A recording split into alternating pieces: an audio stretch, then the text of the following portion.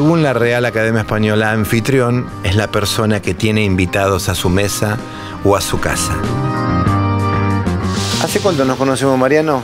No digamos mucho, ¿no? Sabés que hablamos hace un rato de la memoria, ¿no? Me falla. Pero yo creo que son fáciles de 25, 30 años. Sí, sí, más también. Porque sos muy de, la familia Vitale vos de... Totalmente. Yo te iba a comentar, yo he tomado mucho el 71. Qué grosso. Yo soy de Florida. Claro, a dos y estaciones de Villarina. Y la Valle y uno iba a Villaderina con el 71. Después me entero que hay una canción hermosísima llamada el 71. Yo la compuse en el Bondi. Cuando estudiaba en el, en el manual de falla, tenía el cuadernito Histonio, el de pentagramas, y en esa hora y cuarto que era el, recorrido, era de la terminal de Villa a la terminal de 11. Claro. Y después me iba a pata hasta el conservatorio. Entonces le escribí el. igual sos vos y es tu hermana y tu, vieja, la familia. Claro, exactamente. y después, por suerte. Eh, digamos, eh, hicimos un camino cada uno en su métier. Eh, hemos crecido juntos. Hemos crecido juntos, exactamente. y de la producción independiente, ustedes son dos como hijas de producción independiente, o sea, ¿desde dónde les llegó a cada una de ustedes el hecho de hacer cada uno su camino y este... Porque hay como una cosa conceptual en la producción independiente, no es que uno es independiente porque no te dio bola la Sony. Muchas veces sucede que uno es independiente porque quiere ser independiente. Sí.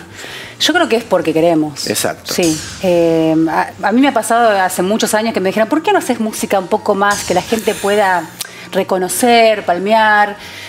Y yo, es que no me va a salir.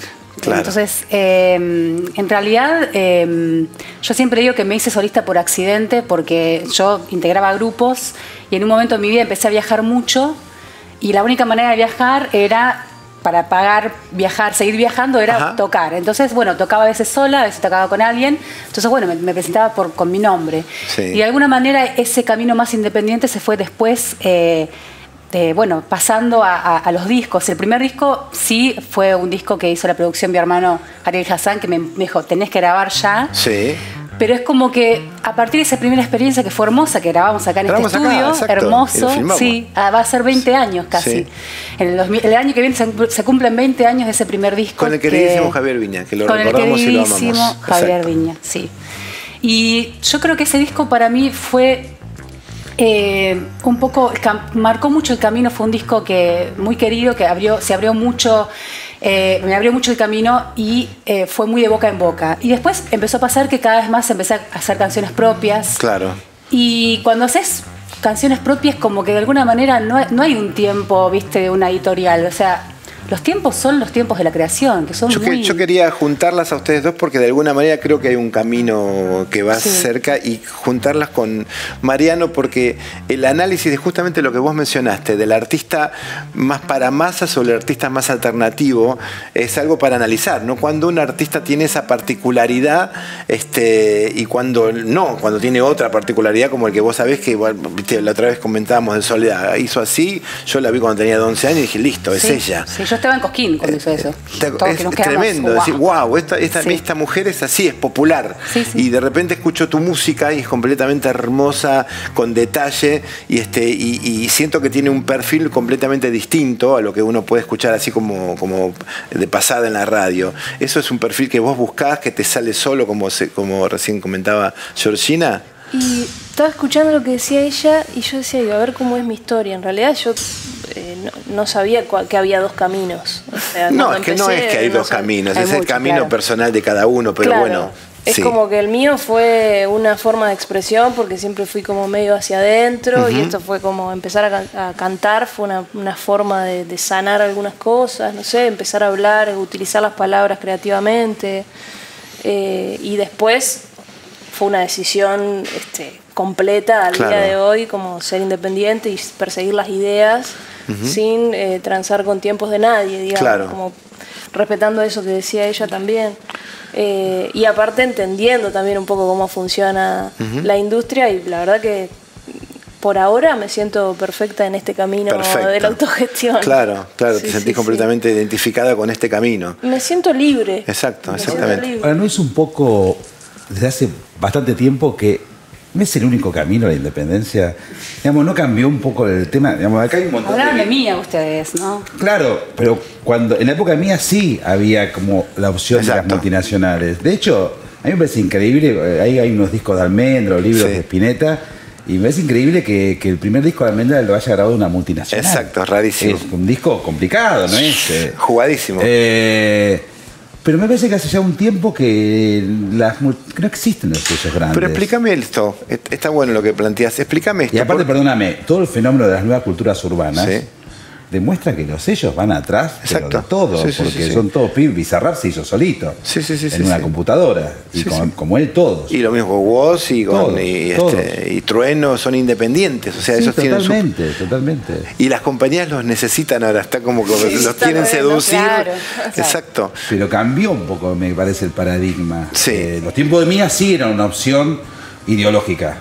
Pero me parece que no hay otra. Y aparte, hoy cualquiera puede hacer un disco desde su casa. Exacto, en su dormitorio, exactamente. Lo que pasa es que yo creo que el, el- el- todo el, el género urbano eh, coincide en que tiene una manera de comunicar vía redes sociales particular, como una especie de, de- de- de pulso de cuándo subir, cómo Sí, subir, sí, y empiezan las millones de vistas. ¿Y cómo hacen para que esto lo escuchen tanta gente? ¿Viste? Y también hay algo que sucede en que esos millones no siempre escuchan toda la canción. ¿Cómo hacen para que convencer a vuestro público que se escuchen todo el disco o que se lean el libro, que, que la presentación tuya que es hermosa, como ya no está el vinilo ni el CD, que es muy caro hacerlo, ella hizo un, un libro precioso.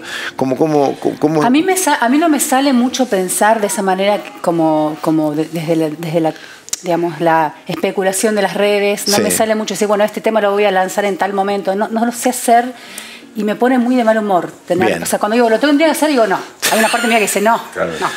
Naciste en el momento equivocado. no ya, o sea, pertenezco a ese mundo? Exacto. Claro, no porque no, no pertenezco a ese mundo. A mí lo que me pasa cuando finalmente, que yo soy tardo en hacer discos, Sí. pero cuando finalmente digo, bueno, tengo un disco, eh, lo, lo tengo como una narración, o sea, yo siento siempre que el disco es una especie de... de, de, eh, Te cuento. de cuento, de viaje, y, y de alguna manera, por algo, nosotros tenemos, somos de la escuela de decir, bueno, a ver, ¿cómo, Claro. queda, esta can- cómo queda esta canción después de esta? Porque Sí. tiene una, está contando algo, está, está, hay un recorrido. Y a mí me, digamos, este es el quinto trabajo que hago, eh, y cuando estaba en, la- el momento de decidir, que todo el mundo decía, ya está, no haga CD, va a ser un posavasos, obviamente, se entiende. Pero es como que yo no, había una parte mía que me sentía como, como, eh, como, como, como muy vacía de tirarlo al universo en las redes y que no hubiera nada tan- tangible, porque creo que también escuchando la música de, de Noelia, estamos muy impregnadas por la poesía. y, y la poesía creo que es hermoso escucharla, pero también cuando vos tenés el objeto papel y podés leerlo y podés... eh, yo a veces en mis conciertos a veces leo una de las canciones, a veces despu- después la canto, pero está todo como muy conectado. Y bueno, y por eso hice este objeto, que es un, un librito que tiene, que tiene algunos textos poéticos, las letras. Sí. Y tiene, también me pasa que digo, qué pena que además escuche peor ahora. o sea, la calidad de la música, ¿no? Porque Sí. digo, nos matamos en el estudio. eh, bueno, ya sabés, ¿no? Sí, O sea, sí. La obsesión de que suene mejor y después se escucha en un celular.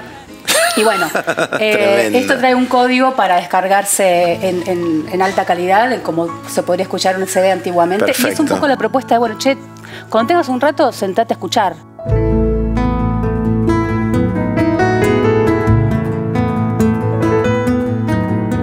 Un navío que se va, un navío que se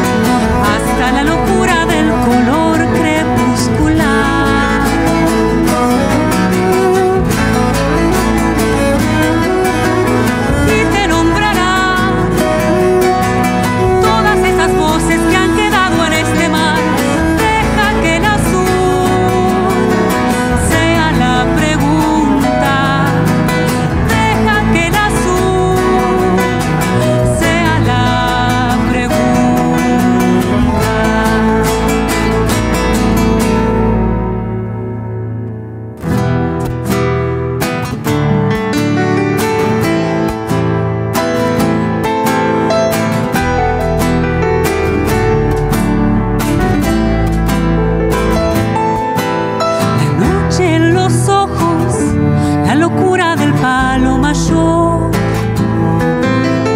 Y en las aguas interiores, lo que nadie vio, lo que nadie vio.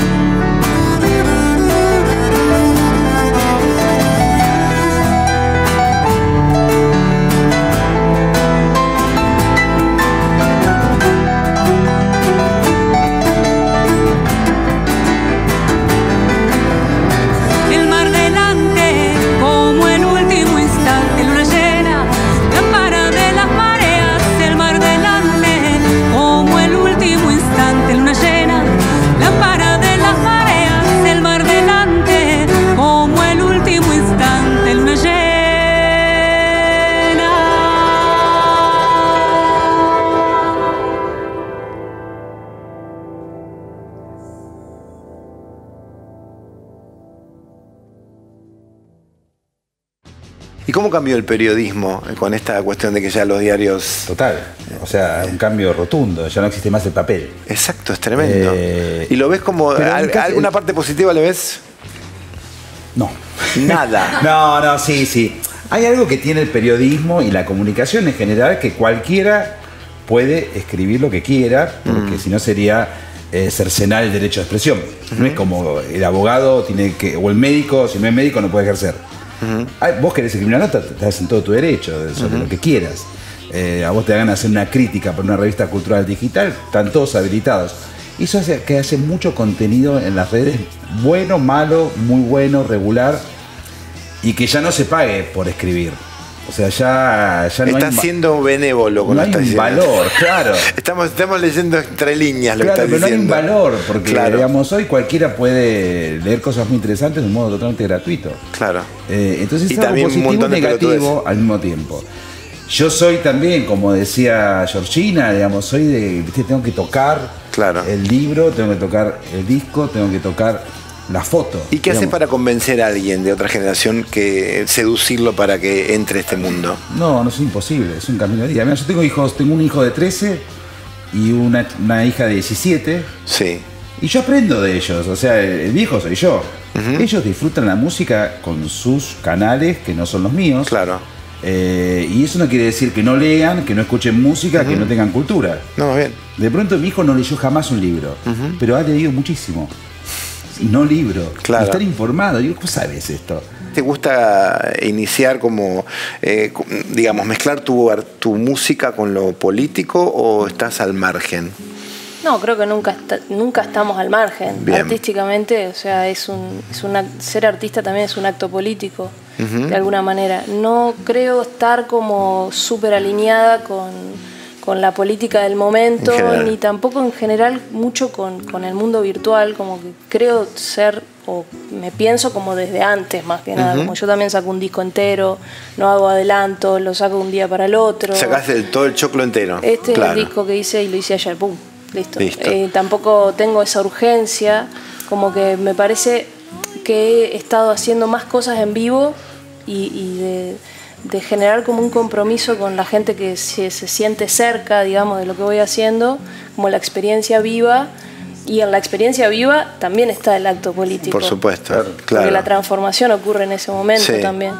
Sí. Eh, entonces creo que estoy como con la pregunta que estabas lanzando de cómo haces para convencer, creo que convencer es no, no, no me pertenece ya, o sea, no creo que a nadie. Hay Es como muchos nichos. es ofrecer en tal Sí. caso. Y además, eh, yo creo que lo que vos decís es así, ser artista es, es- es ya hacer política y también es un acto de resistencia. Absolutamente. Eh, total, o sea, actuar en vivo para 10, para 20, para 1000 personas, sacar un disco, un libro, estar acá charlando en un living, son pequeños actos de resistencia. Yo creo que tiene que ver también con cu- justamente cuál es cuál es tu canal de comunicación, ¿no? A mí a veces me acuerdo en una época que vivía en Chile y me decían que tus ca- tus canciones no tienen contenido político, ¿no?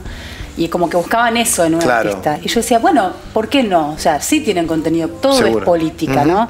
Ahora, yo no estoy diciendo eh, a desalambrar, a desalambrar. Claro. Por ahí porque no me sale, por ahí porque no es, no es la manera de decir en este momento, o no es mi manera. Eh, entonces, digamos, hay que, me parece que hay que diferenciar, eh, nada, seguro, o sea, Noelia, eh, nosotras hemos, estado siempre, eh, me parece, eh, tomando partido en un sentido, eh, no sé, yendo a cantar a un, ex- a un lugar que fue ex campo de concentración. Claro, hay una bajada por ese por ese claro, lado. o sea, esto que ella, que ella decía, la presencia. Eh, Hay un lugar hermoso en Gualeguaychú, en tu pueblo, que es la música circular, que son conciertos en un campo, en un, en un campo donde libre de agrotóxicos. Y es una, es una propuesta re chiquitita, muy autogestiva. Y ir a cantar ahí es también un acto político, Claro. porque es, eh, bueno, apoyamos este lugar este, como un lugar en el mundo, ¿no? un lugar libre de, de agrotóxicos. Y, y creo que eso, más allá de decir una consigna política en una letra, tiene que ver con esto, con poner el cuerpo, con, con la presencia. Y Ahí- la poesía también, ¿no? Además, te, conecta, te, te, te- te- te deslumbra, te, te enciende. Por ahí estás diciendo lo mismo, eh, o sea, dando un mensaje, pero con una, con una, eh, digamos, con algo poético y también te, te Absolutamente. modifica. Es que el compromiso con la poesía está ahí, me parece. ¿viste? Absolutamente. Como desde la poesía hay un montón de transformación, por ende hay un montón de actos. Lo que vamos a compartir, este, este, este tu disco nuevo. Sí, Bien. es el, acaba de salir y es eh, guitarra y voz y habla mucho del tiempo. O Bien. sea, y traje como el concepto del tiempo que, bueno, no, no es nada nuevo, ¿no? Es la obsesión de siempre. la obsesión artística de, de todas y todos. eh, y bueno, está ahí, son 16 minutos, 48 segundos eh, de guitarra y voz y todos, todos tienen como un mensaje ahí subliminal de ir hacia la luz, de salir del loop, de Ajá. salir de la oscuridad un poco Bien. y ir hacia, hacia la inversión de tiempo eh, presencial Bien. y salir de un poco del, del mundo virtual.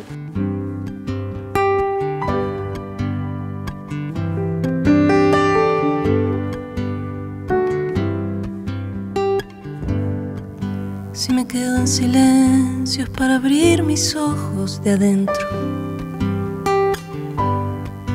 Si me quedo mirándote, no me alcanzan los ojos abiertos.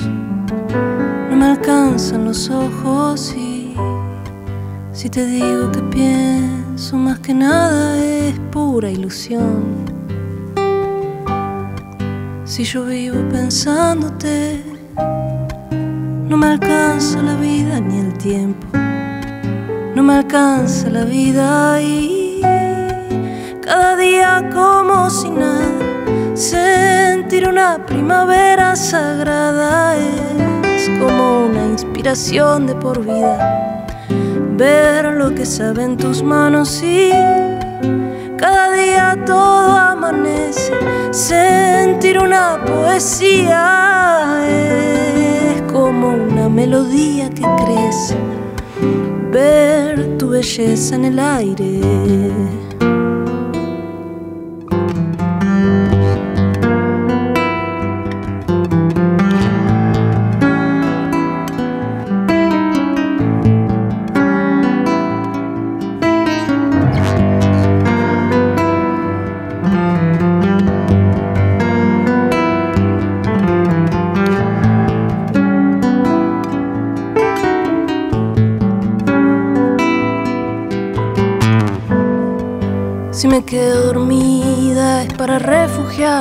Tiempo. Si me quedo abrazándote, me acompaña la fuerza del viento. me acompañe la fuerza y cada día como si nada sentir una primavera sagrada es como una inspiración de por vida ver lo que sabe en tus manos y cada día todo amanece. Sentir una poesía es como una melodía que crece. Ver tu belleza en el aire.